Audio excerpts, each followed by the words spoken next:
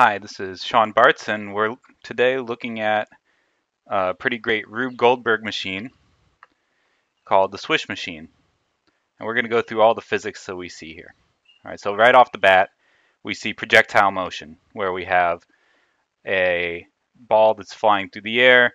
The only force that is on the ball while it's in the air is a downward force of gravity, but it's moving in two dimensions. So it's going to take a parabolic path, right? So uh, he has to shoot it at the correct velocity and angle so that that path passes through the basket.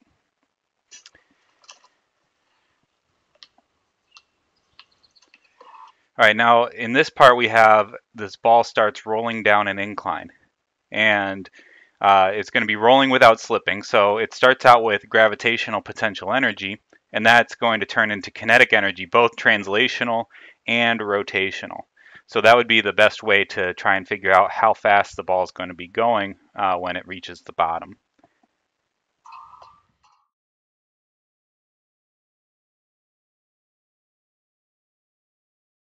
And now that was a great example of an elastic collision, right? When the ball uh, hits the bowling pin, the kinetic energy is going to be conserved. Now it's not going to be perfectly elastic because in the real world we know some of that energy is going to be lost to sound, but it's pretty elastic.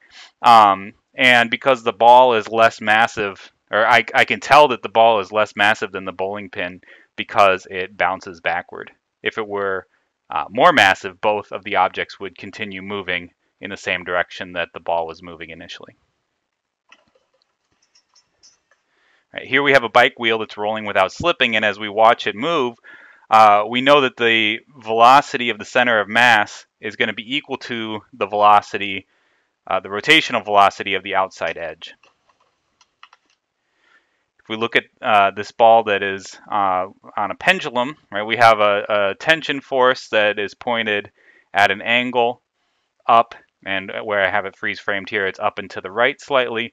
And we know gravity is going to point straight downward. So the tension force is only going to balance out some component of the force of gravity.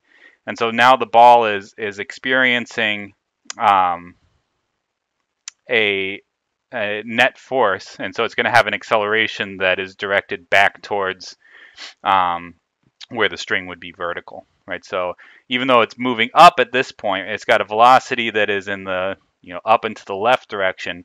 The acceleration it would be down and to the right meaning that it is, uh, because those point in opposite directions, the ball is slowing down.